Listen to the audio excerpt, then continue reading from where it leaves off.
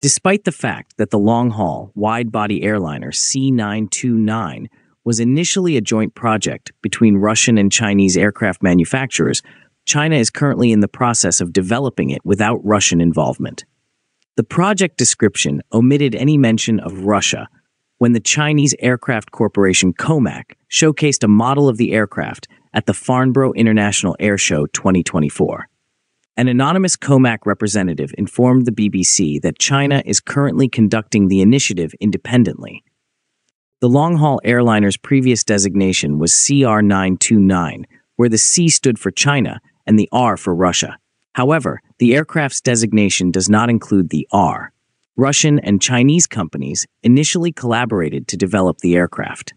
It is considered essential for the improvement of accessibility between the country's remote eastern regions and its central areas, particularly in the context of Russia's transportation infrastructure. Following the 2014 annexation of Crimea and Sevastopol, the CR 929 initiative was initiated during a period in which international sanctions were put in place against Russia. The full scale invasion of Ukraine in 2022 significantly intensified these sanctions, effectively blocking the supply of spare parts for Russia's civil aviation sector we will explain the reasoning behind Russia's decision to withdraw from the deal in 2024. Initially, Russia and China owned 50% of the project, with an estimated final cost of between 13 to 20 billion US dollars.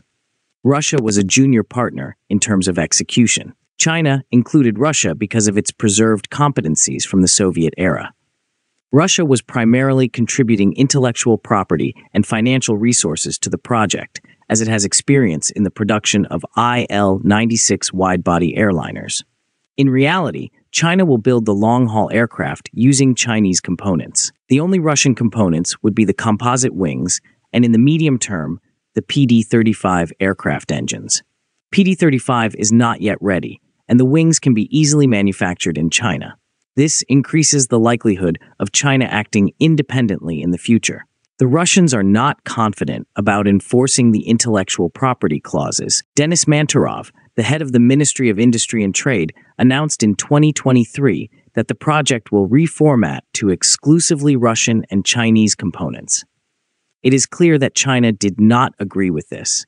Various estimates indicate that the main sales market for such wide body aircraft will be China, with an estimated 1,200 aircraft sold over the next few decades. On the other hand, estimates place the demand for such aircraft in Russia between 50 and 120 aircraft. At present, Russian airlines continue to operate foreign long haul airliners, including Aeroflot's fleet of 22 Boeing 777ERs. However, we anticipate a modernized version of the IL 96 to replace these. On July 9, 2024, Minister of Industry and Trade Anton Alikhanov emphasized the need for a long haul aircraft, stating it should account for around 15% of transportation, a gap that the domestically produced SSJ 100 and MC 21 cannot fill. He suggested that an upgraded IL 96 could fulfill this role with the necessary modifications. The Russian aircraft's modernization timeline remains uncertain. According to Russian aviation news outlets, Sergei Chemezov, the chief of Rostec, informed Prime Minister Mikhail Mishustin in May 2024 that the corporation intends to develop the PD 35 engine and start building long haul aircraft based on it within the next two to three years. On November 21st, Anton Alikhanov, the Minister of Industry and Trade, revealed that Russia is developing a new wide body aircraft that will run on domestically made PD 35 engines. Since its inception in 2016, the development of this engine has achieved significant milestones. Its purpose is to replace foreign equivalents in Russian aviation. The PD 35 is the largest Russian engine in its class, with the capacity to generate a thrust of up to 35 tons. Alikhanov stated that they plan to complete the project after 2030. The minister stated that the wide body aircraft project is nearing its final phases.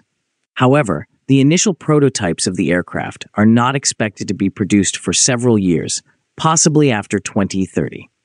Designers and engineers are currently developing the requisite technologies and materials to guarantee the project's success and competitiveness on a global scale. Altitude Addicts reported last month that Russia plans to convert the IL 96 400M into a two engine variant with two crew members. They plan to use the PD 35 engines. We also reported that the IL 96 version, even equipped with two PD 35 engines, will not be adequate. It is uncertain whether the upcoming project will entail the redesign of the current IL 96 aircraft or the development of a new aircraft entirely. Now, do you think Russia should modify IL 96 or develop an entirely new design for wide body applications? Let us know in the comments. Please like and share our videos and subscribe to our channel. Please also take membership in our channel to encourage us.